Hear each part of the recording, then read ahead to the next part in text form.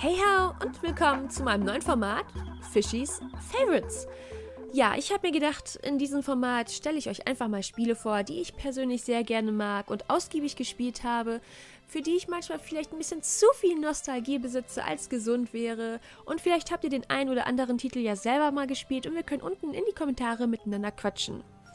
Und als erstes möchte ich mit einem meiner absoluten Lieblingsspiele beginnen. Ihr habt es wahrscheinlich schon in der Thumbnail gesehen, aber es handelt sich hier natürlich um da da da da Pikmin.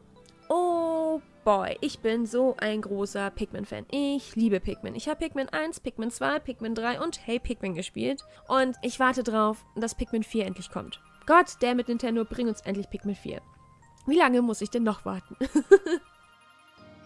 Ein paar Daten zu dem Spiel kann ich euch natürlich auch geben. Das Spiel kam ursprünglich für den Nintendo GameCube im Jahre 2001 raus und ist ein Echtzeit-Strategiespiel von Nintendo selbst entwickelt. Ein paar Jahre später zur Wii-Zeit gab es auch eine Replay-Control-Version von diesem Spiel.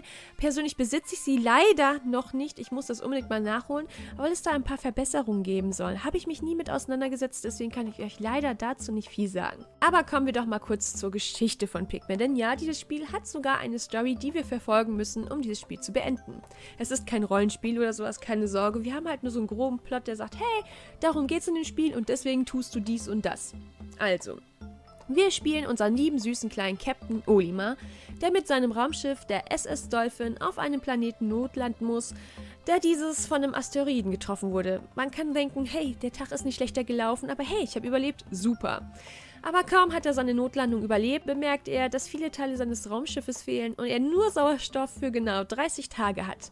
Und das Interessante ist, genauso lange kann dieses Spiel gehen, denn es gibt ein Limit. Wir haben genau 30 Tage Zeit, um alle Schiffsteile zu finden, um die SS Dolphin zu reparieren. Das fand ich früher ein sehr, sehr interessantes Konzept und habe mir so gedacht, wow, 30 Tage, das könnte echt knapp werden. Ich muss gestehen, in meinem allerersten Run habe ich es tatsächlich nicht geschafft, innerhalb von 30 Tagen alle Schiffsteile zu finden. Aber für jeden, der jetzt so denkt, mm, dann ist das Spiel ja ganz schön langwierig. Nope, tatsächlich nicht. Wenn ihr das Spiel schon gespielt habt und es kennt, könnt ihr das schon unter 5 Stunden spielen, unter 4 Stunden und sogar unter 3 Stunden durchspielen. Speedrunner brauchen gerade mal, lass mich lügen, ich glaube eineinhalb Stunden, um das Spiel durchzuspielen. Also wenn man weiß, was man tut, kann man das Spiel wirklich an einem Nachmittag durchzocken. Das ist äh, eigentlich ganz cool gemacht. Dann fangen wir doch einfach mal an, über die Pikmin zu reden. Denn Olimar findet nach seiner Bruchlandung so eine komische Blumenzwiebel, die toucht er an, da kommt so ein Samen raus und dann kann er auf einmal was pflücken. Denkt sich Olimar so, oh geil, ich probiere es einfach mal aus, weil hey, ich bin eh auf einem fremden Planeten, was soll ich schon tun, ne? Mhm. Dann zupft er das da raus und tada, da kommt ein rotes kleines Pikmin. Natürlich heißt dieses Ding in dem Moment noch nicht Pikmin, aber Olimar denkt sich so, hm, das Ding sieht aus wie die Karotten, die ich immer zu Hause auf dem Teller habe. Ich nenne die Viecher nicht Pickpick-Karotten, sondern Pikmin. Wird bestimmt klappen. Außerdem scheint mich dieses Viech irgendwie zu stalken. Hm, vielleicht kann ich mir das zunutze machen. Und tatsächlich ist das nämlich so. Ulima hat die Macht über die Pikmin und es gibt drei verschiedene Arten von Pikmin in diesem Spiel. Als allererstes haben wir natürlich die roten Pikmin, die sich in jedem Pikmin-Spiel als allererstes vorstellen und die sich durch ihre lange Nase bemerkbar machen. Aber die haben noch eine gute andere Eigenschaft, nämlich im ersten Teil des Spieles sind die Pikmin feuerfest und das heißt, egal wohin du die hinwirfst, wo es brennt, den Pikmin ist das egal. Die denken sich nur so, ja, warme Brise, nehme ich. Danach können wir noch die gelben Pikmin entdecken, die natürlich gelb sind und riesengroße Ohren haben. Damit können sie aber leider nicht besser hören, was eigentlich schade ist, weil das hätte man auch schön einbauen können, so dieses, oder kommt irgendwie ein Gegner und die Pikmin reagieren drauf. Schade, vielleicht kommt das ja irgendwann mal. Aber was ich sagen wollte ist, diese gelben Pikmin sind besonders leicht und lassen sich hoch und weit werfen. Die idealen Helfer an Stellen, wo man sonst nicht drankommen würde und das braucht man tatsächlich in diesem Pikmin-Spiel auch. Und man kann auch mit ihnen Bomben tragen. Nur sollte ich erwähnen, dass es sehr, sehr, sehr, sehr schnell gehen kann, dass man außersehen seine eigenen Pikmin wegspringt. Und wenn man Pech hat, sogar die ganze Kolonie. Ja, wie sagt man so schön, aus Erfahrung lernt man. Und glaubt mir, ich habe anfangs viele Pikmin getötet. Und zum Schluss haben wir natürlich auch noch die blauen Pikmin da die einen Mund besitzen bzw. ein Kiem, womit sie ein bisschen ulkig aussehen, aber auch die sind nützlich, denn jedes Pikmin hat eine Fähigkeit. Und diese Pikmin hier können einfach nicht ertrinken. Schmeißt sie ins Wasser, die ersaufen nicht. Und das ist super praktisch, denn wir brauchen Pikmin, die im Wasser überleben können. Und mit einer Kombination aus allen diesen Pikmin-Sorten können wir es schaffen, innerhalb von diesen 30 Tagen unsere Dolphin zu reparieren und den Planeten wieder zu verlassen. Was ich euch noch erzählen kann, ist, dass Pikmin natürlich in einer dreidimensionalen Umgebung spielt, was ihr wahrscheinlich auch anhand des Videomaterials sehen könnt.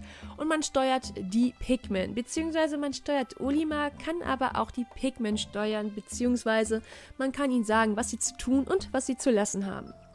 Die Pikmin können nämlich Hindernisse aus dem Weg räumen, wie Mauern und Steine etc. Man kann Gegner mit ihnen bekämpfen und Brücken bauen oder auch Schiffsteile zu Dolphin tragen, was natürlich ihre wichtigste Aufgabe ist, ne? weil Schiff reparieren ist ja unser Ziel.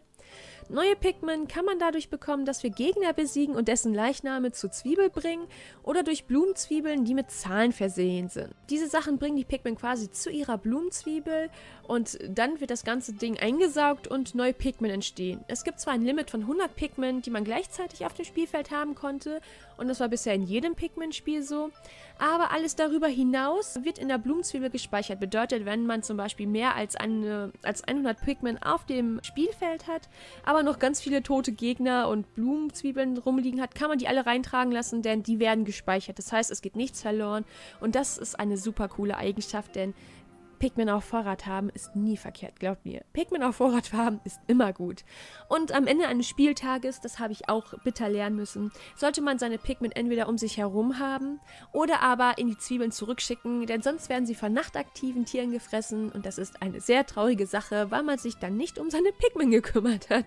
Pikmin ist quasi, wenn ich das beschreiben müsste, vielleicht so eine Art Strategie-Knobelspiel, wo man erstmal herausfinden muss, wo sich ein Schiffsteil befindet und dann herausfinden muss, wie man herankommt. Denn es ist nicht einfach nur so dieses, ah, da liegt was rum, ich gehe da hin und hole mir das. Nein, meistens muss man Brücken bauen, man muss Wände einreißen, man muss Gegner besiegen, man hat auch Zwischengegner und einen Endgegner in diesem Spiel, um wirklich an alle Teile zu kommen. Und das ist das, was ich so gerne an diesem Spiel mag, weil du wirklich alle drei Pikmin-Sorten ausbalanciert benutzt nutzen musst, um voranzukommen. Es gibt auch Gegner, die gewisse Strategien benötigen. Es gibt solche Feuerspeinen-Typen, wo man am besten die roten Pikmin nehmen sollte. Wassergegner, die natürlich nur mit den blauen Pikmin besiegbar sind. Oder es gibt Höhen, die nur die gelben Pikmin erreichen können und wenn sie einen Weg freischaffen, kommen alle anderen Pikmin durch. Und das, äh, dieses strategische mag ich total gerne in diesen Pikmin-Spielen. Außerdem muss ich erwähnen, diese kleinen süßen Pikmin-Tierchen, die sind einfach nur niedlich. Ganz ehrlich, ich liebe Pikmin. Die sind einfach knuffig. Ich wünschte, ich könnte selber Pikmin besitzen. Was soll ich noch dazu sagen? Persönlich spiele das Spiel immer wieder, wenn ich einfach mal Bock drauf habe, weil, wie ich bereits erwähnt hatte, das Spiel, wenn man es kennt, dauert nicht lange. Und für Neulinge, wenn ihr es noch nicht gespielt habt, ich glaube, das Spiel wird für die Wii oder so für 10, 15 Euro gehandelt, der Titel. Also er ist nicht teuer. Und wenn ihr Strategiespiele mögt, könnt ihr doch einfach mal reinschauen. Ist jetzt so meine persönliche Empfehlung. Das Spiel kostet jetzt nicht Unmengen am Geld und ist auch nicht rar oder eine Rarität. Es macht einfach Spaß. Man muss sich natürlich für dieses Genre begeistern können und vielleicht auch für diesen Artstyle etc. Aber wenn man sich mal reingefuchst hat, finde ich, äh, kann man eine Liebe zu Pikmin empfehlen beziehungsweise eine Pikmin-Liebe bekommen. Den zweiten Teil, der ist etwas länger, größer, aber auch anstrengender. Das sind die Endgegner und Zwischengegner schwieriger geworden. Dafür sind einige andere Elemente weggefallen. Da ich den Titel erst so kurz wieder durchgespielt habe, ist mir das zum Beispiel aufgefallen, dass man im zweiten Teil gar keine Brücken zum Beispiel sprengen muss, beziehungsweise Mauern sprengen muss und sowas. Was ich eigentlich sehr, sehr schade finde, das kam aber im dritten Teil zurück. Aber natürlich wollte ich hier nur über Pikmin einsprechen. Ich bin gespannt, was sagt ihr über Pikmin? Welche Erinnerungen habt ihr an Pikmin? Wünscht ihr euch selbst ein Pikmin 4 oder habt ihr gar, gar niemals Pikmin gespielt? Ich bin gespannt auf eure Kommentare. Das war es mit dem ersten Fishies Favorites. Für Verbesserungsvorschläge bin ich immer wieder offen. Vielen Dank fürs Zuschauen und bis zum nächsten Mal. Bye bye!